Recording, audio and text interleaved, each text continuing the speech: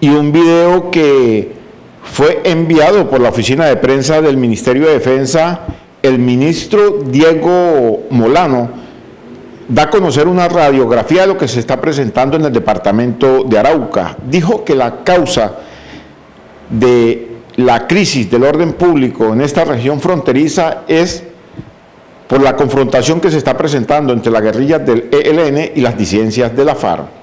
El ministro de la Defensa de Colombia entregó una radiografía de la grave situación que atraviesa el departamento de Arauca de orden público desde comienzo del año 2022, desde que se dio inicio a la confrontación entre las guerrillas del ELN y las disidencias de la FARC. Arauca está pasando momentos difíciles por la situación de seguridad. Colombia entera debe rodear a Arauca. Nuestras fuerzas militares y de policía siempre han estado del lado de los araucanos lo seguirán estando y por supuesto garantizarán que allí avance de una forma contundente la recuperación y la estabilización del departamento. ¿Qué es importante entender?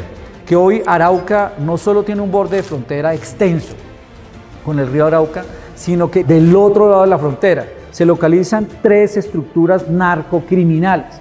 Están, en primer lugar, el ELN, en segundo término están las disidencias de las FARC y después del acuerdo de La Habana, cuando algunos defraudaron a los colombianos, se localizaron también de allá a este lado de Apure, la segunda Marquetalia. El ministro de la Defensa, Diego Molano, dijo que la guerrilla del ELN y la segunda Marquetalia se unieron para derrotar a las disidencias de la FARC en el estado Apure. Lo que viene sucediendo desde hace un año, para entender la realidad de hoy, es que el ELN y recientemente la segunda Marquetalia, después de que sus principales cabecillas fueron dejados fuera de orden, salieron de circulación, se unieron ELN con Segunda Marquetalia, con el apoyo de las fuerzas militares bolivarianas para sacar de Apure a las disidencias de la FARC que les estaban robando rutas de narcotráfico, que los estaban confrontando, que estaban utilizando y manipulando las pistas.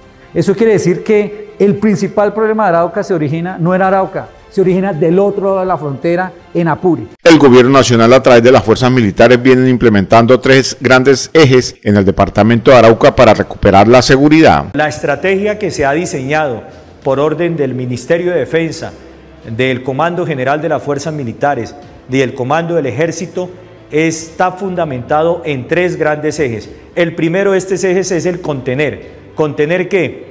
El flujo que hay entre estos gaos por esta frontera porosa en los más de 450 kilómetros de línea fronteriza. Este flujo está conformado por más de 29 pasos ilegales. El segundo eje es el de proteger. ¿Proteger qué? La infraestructura crítica del Estado, proteger los 540 kilómetros de ejes viales que permiten que la economía araucana fluya, proteger también los 32 ejes viales los siete cascos urbanos de municipios y por supuesto proteger a la población civil de Arauca. La confrontación entre las guerrillas del ELN y las disidencias de la FARC se sigue presentando en el estado puro de Venezuela y en el departamento de Arauca.